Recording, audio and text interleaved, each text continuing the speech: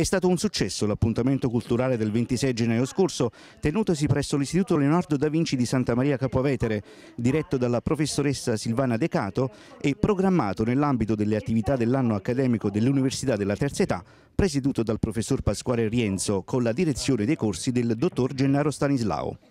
Un anno accademico dedicato quest'anno al regno borbonico, che si sta sviluppando con una serie di appuntamenti culturali, come ci spiega il professor Pasquale Rienzo.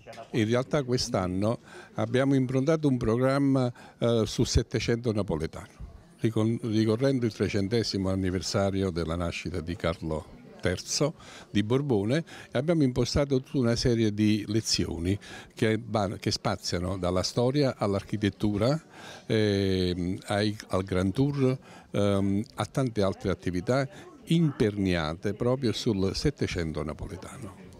Una lectio magistralis sui momenti più significativi del regno borbonico tratta da un libro del decano dei penalisti campani, Giuseppe Garofalo, avvocato del Foro di Santa Maria Capovetere, scrittore e storico.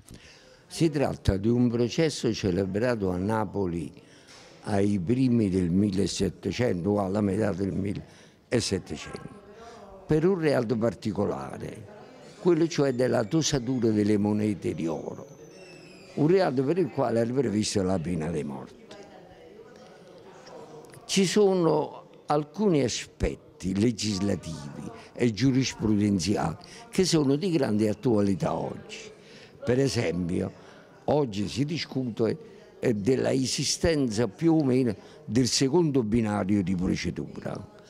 All'epoca esisteva istituzionalizzato il secondo binario, tant'è che questo processo fu fatto con una legislazione di secondo binario, con una procedura di secondo binario. Una giustizia già avanzata all'epoca, avvocato? Eh, su questo piano molto avanzato, tanto è vero che in epilogo verso la fine del libro, eh, vi è un intervento della Camera di Sant'Agliano, cioè il più alto tribunale napoletano, il quale sorpassando su tutte le leggi eh, stabilì che l'imputato poteva fare ricorso contro le condanne ingiuste anche se fossero state esaurite tutte le regole di procedura. Il suo diritto non si prescriveva mai. A declamare una significativa pagina del volume è stato il giovane attore sammaritano Francesco Russo, allievo dell'Accademia Nazionale di Arte Drammatica Silvio D'Amico di Roma, premio SIAE e attualmente nel cast della sitcom Zio Gianni in onda su Rai 2. Aggrappato alle sbarre, sentiva che qualcosa non andava quelli che invocavano pietà e misericordia c'era anche il giudice Baldassar Recito, che dello sventurato maccaronaro Carmine Vigliante non aveva avuto né pietà né misericordia e lo aveva consegnato al boia. Anche lui lì, nella processione, a chiedere pietà e misericordia.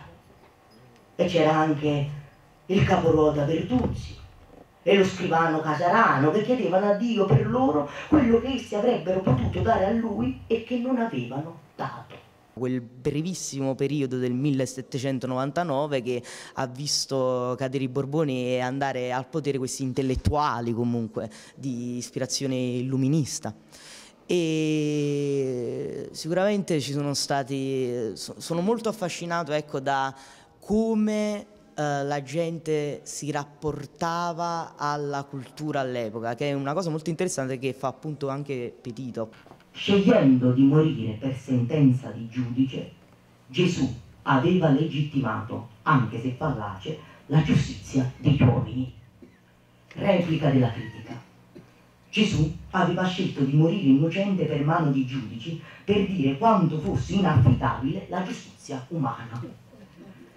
E invece Sarace continuava a pregare e sperare nella pietà e nella misericordia, non di Dio, ma del tribunale, perché quella gli serviva con più urgenza.